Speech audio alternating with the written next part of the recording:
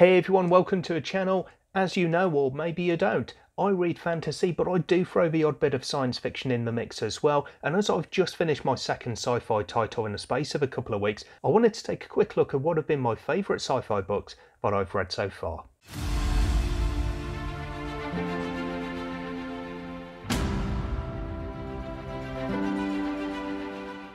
So the number of science fiction books that I've read in total isn't necessarily a very long list because as I say I do primarily read fantasy and it's only over the past five or six years that I've started to drip feed some science fiction into my reading as well. But from the titles that I've read, I have put together a top five of my favourite science fiction books, ones which have really stuck with me and which I highly recommend to anybody. And because science fiction isn't my primary genre, I'd like to invite you to give me some recommendations of titles that I might like. I primarily look for far future and I do well with space opera, so any of those type of titles that you think might really suit a fantasy fan like myself, drop me a note in the comments down below and I'll take a look.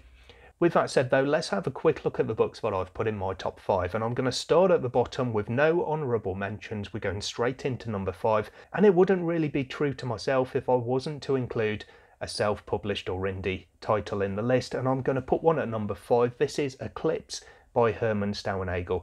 I recently read this one and I had a really good time with it. It was very enjoyable, very fun, and I really look forward to continuing the series when the second book, uh, Chimera, I think it is, is released at some point in the future. Although this one is far future, it still has its roots on Earth, and Earth does play a part in the story itself. It's a barren place, it's unlivable, and you've got space stations surrounding Earth, and there's people on there trying to keep humanity alive, and at the same time to get themselves all of the resources that they need to essentially repopulate Earth, to make it habitable again, and to be able to one day go back down to the planet. We feature two main characters in this book. One is on the space station Eclipse, and he's learning that things aren't necessarily as he's always been told they are. So it's a bit of a journey of discovery for him, and there's some really good and intense moments as he's uncovering these secrets and these truths that have been hidden from him and from everybody else. The second main character is on a spaceship. She's essentially a retired pirate, but she's getting pulled back into her old life and finding it difficult to escape from it. Overall, it's not necessarily a brand new concept, but it's one that I felt was dealt with really well. It's a really enjoyable book. The pages turn really quickly, making it a really accessible read, and I thoroughly enjoyed it. In at number four on my list is Mickey 7 by Edward Ashton, and the sequel Antimatter Blues is one of the titles that I've just finished reading uh, a few days ago as it happens. This one, I really enjoyed the concept. You've got a character, Mickey, who is an expendable. He's got the number seven after his name because he is the seventh iteration of Mickey. His people have gone to a new planet and they're trying to colonize it. And one of the reasons that Mickey is there is because he's an expendable. He isn't the top of the class in anything. He's not the cream of the crop. He couldn't get a place on this colony ship. There was only one option to him, and that is to be the ship's expendable. So the expendables are people who sign up to do all of the really dangerous jobs. And when they do those dangerous jobs, they will invariably die. So before going out to do one of these jobs, they will upload all of their memories and so forth. And then when they die, they have a new body essentially printed and those memories downloaded to it. So Mickey has died six times already, he's now in his seventh iteration, and that's when things start to go wrong during what should be really a routine exploration of part of this planet. I thought it was a really interesting concept and it was dealt with really well here, and we got some quite interesting and in many senses strange scenes as a result of Mickey being an expendable that obviously I won't talk about because I don't want to spoil any of the story itself. But this one does have a couple of additional advantages for people who want that. As I say, there is a sequel which is just about to be released at some point in March, so you do have a second book to go into, and there's also a movie that's going to be made of Mickey 7 as well, although I believe the film itself is titled Mickey 17, presumably so they can show us a few extra gruesome deaths of our main character. For number three on my list, I'm going into The Expanse. I've not read too many of The Expanse books by James S.A. Corey, but I have got up to number two now, which is Caliban's War, and that's the one that I'm putting on this list. So this may well be replaced if I revisit this list later on with another book from the same series. I had a great time listening to the audiobook of Caliban's War though, and it really helped me having seen the TV show The Expanse, which is one of my favourites. I loved the visuals that we had in there and some of the little things of science fiction that you kind of take for granted, and it looked like the cast and crew were taking it for granted because they were playing the part and it was nothing new to them. I absolutely loved that, and it did come across in the book as well, albeit to a lesser extent because you can't physically see these things. There were some great characters, and I loved being able to see some of the scenes in my head because I'd loved the show. It was a bit like a reread in many senses because several of the scenes in the book were almost play for play uh, adapted into the TV show. Although there is a good plot to Caliban's War, it's the characters that really made it for me. And again, this probably draws a bit on my experience of them from the TV show, with great characters like Amos and Bobbie, and my personal favourite, Avasarala, who just did not fail to make me laugh at pretty much every scene she appeared in, because I just love her sassy, take no prisoners kind of nature. And if, like me, you think that comes across well on the TV show, I think it's maybe even better in the book itself. So I'm really looking forward to continuing my journey with The Expanse. I know there is such a forgive the pun, an expansive world to explore, an expansive plot that the books take us through, even beyond what you see in the TV show, and I can't wait to get to those. Number two on my list is one of my favourite authors, even though it's mostly fantasy that I enjoy him in. This is Adrian Tchaikovsky with Children of Time.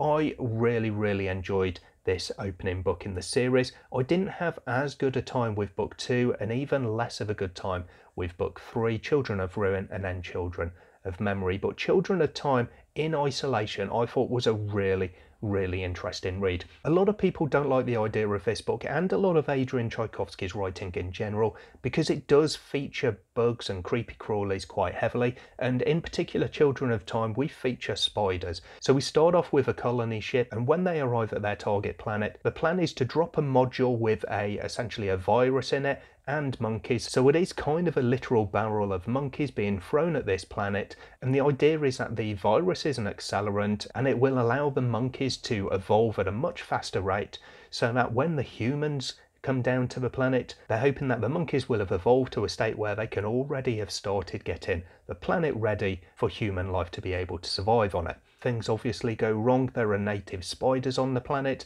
and they start to evolve and to grow. And I thought that was a really interesting concept. There were some little oddities with time because you've got a long passage of time within the pages of just this one book. And the characters that you have are not long lived. So with the humans, there's an easy way that you can get around that by putting people into cryo sleep or whatever it's termed in the book, I can't quite remember. But with the spiders that you're also following as individual characters, they don't have that luxury. So the way that's handled, I thought was really well done as well, so that you can continue your familiarity with a set group of characters rather than needing to be introduced to new characters every time there's a bit of a jump forward in time.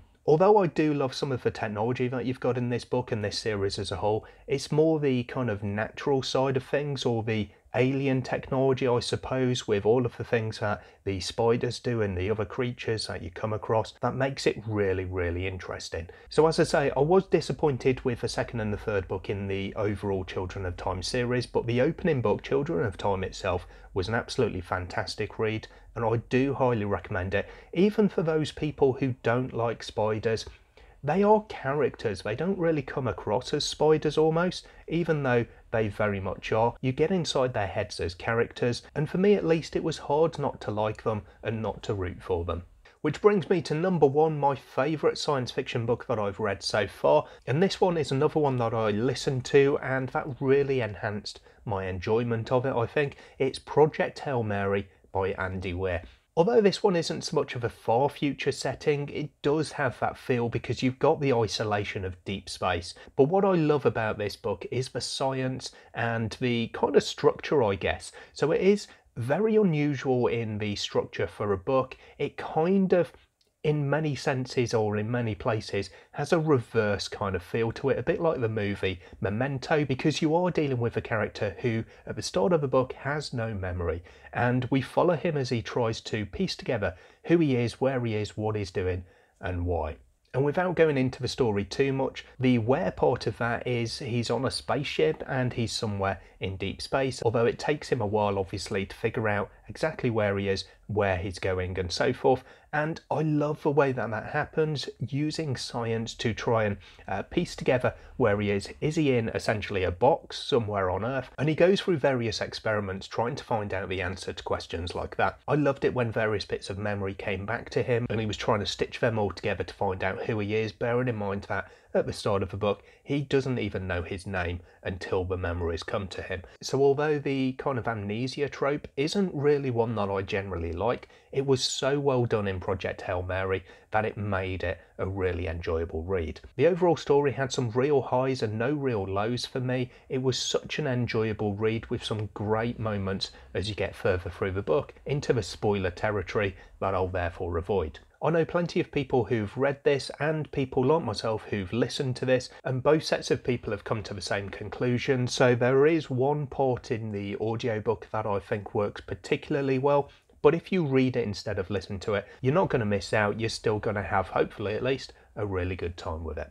So with Project Hail Mary being my favourite sci-fi book that I've read so far, it's another one that I'm really looking forward to what's coming ahead because there is a movie being made of this. I really, really enjoyed the movie of The Martian. I love the humour that you've got in it and again the science that you have there and it's a very similar feeling with the isolated setting and character that you've got in Project Hail Mary. So if you like the movie of The Martian, I think you can have a really good time with Project Hail Mary. And I hope that the same can be said, obviously, when Project Hail Mary is adapted and I can watch the movie of that one as well.